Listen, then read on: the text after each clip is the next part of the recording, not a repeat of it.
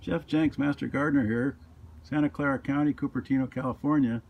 It's November 10th, about 11 o'clock in the morning, and this is getting to the very end of the warm season vegetables. Here we have uh, the arugula that's uh, still gone to flower, but plenty of leaves left, left to be harvested, and the, the basil, still same thing, gone to seed, flower, and uh, still plenty to harvest in the time.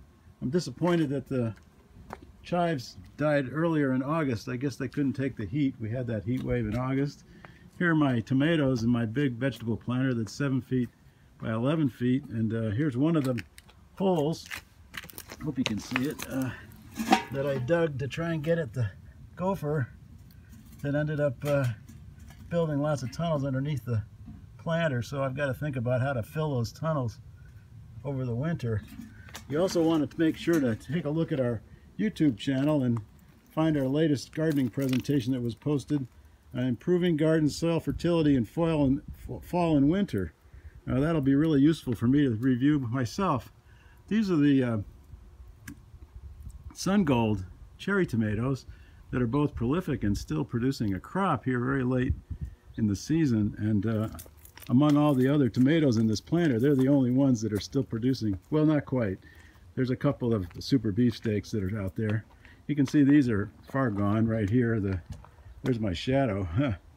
you can see the sun's quite low and this planting area is east facing so by winter it's really not getting enough sun to do the winter vegetables. Um, right here is my Bearss lime tree which is being incredibly prolific this year which is nice and really enjoyed the, uh, the brief rain shower we got a few days ago to clean the leaves from all the ash and uh, lots of beautiful limes to be harvested for quite a while and some new ones on their way. If I can get this thing so it's not in the shadow you can see the the new new fruit right here. There they are. Anyway so just got some sun golds left and uh, if you take take my take this walk with me you'll see the other places where the where the gophers have been there's another big hole I dug and I, didn't catch one here. And then there's another hole over here on this side here. And oh, guess what? I'm really surprised to find a nice zucchini right here. Um, very late in the season. There it is. And uh, there's no, uh, very little powdery mildew, which is very unusual. By this time, most years, these plants would be completely covered with powdery mildew. You can see some leaf miner activity right, uh, well, right about, uh, you can't see it because of the sun.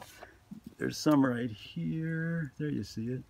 But that's not so bad and just really very little powdery mildew, which is great. And again, the sun gold over here. And then here's a corner, another hole in this corner. And this one is a place where I did catch a gopher. And this year, I keep track starting in January. This year I've caught 11 gophers in my yard. Here's my peppers. They're always late.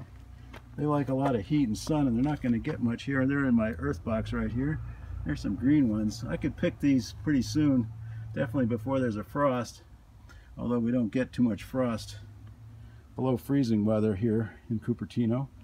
Um, but um, if I pick them, they will redden up on the inside. And here's one of the last remaining um, beefsteak tomatoes.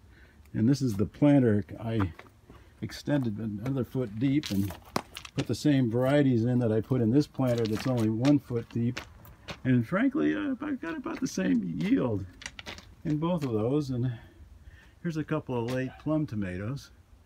This is called Jeff Special Plum because I don't know the real variety and there's a long story behind that. And of course, the last thing we get in the season typically are the eggplant. These are a Japanese eggplant.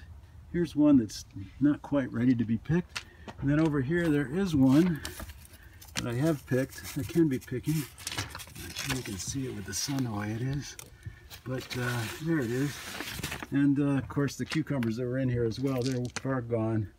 So that's a wrap up. Got a lot of work to do.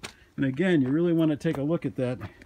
Improving garden soil fertility in the fall and winter on our YouTube channel and our gardening presentations. So, oh, there in the distance you can see the wonderfully prolific Meyer lemon. Have a great day.